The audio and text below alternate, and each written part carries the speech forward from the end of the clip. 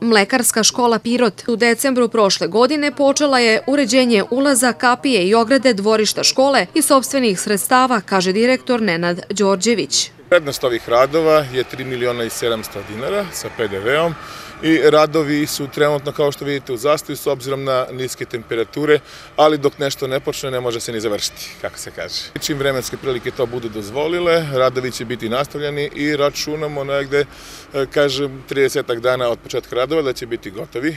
Pored ovih radova, u planu je i izgradnja letnjikovca, odnosno učionice na otvorenom za učenike i stanare doma ove škole. Učenici nakon e, svojih aktivnosti redovnih koje imaju u školi, nakon ručka, odmora, aktivnosti domskih, e, kroz razne sekcije, imaju, imaće priliku i da se odmore, popiju sokić, kaficu u poslepodnevnim satima, tako da trudimo se da svima stvorimo neke uslove približne kao što imaju kod svoje kuće. Za 70 srednjoškolaca i studenta koji trenutno borave u domu biće uređene i kuhinja i trpezarija. Trpezarija doma je stara od kad postoji ova zgrada godina, od 1945. godine.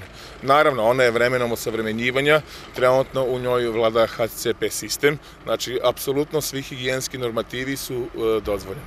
Ali prostor je, da kažemo, neko malo skučen, tako da ćemo ovim e, najpred dobiti komfor, kako za radnike u kuhinji, tako i za same stanare doma.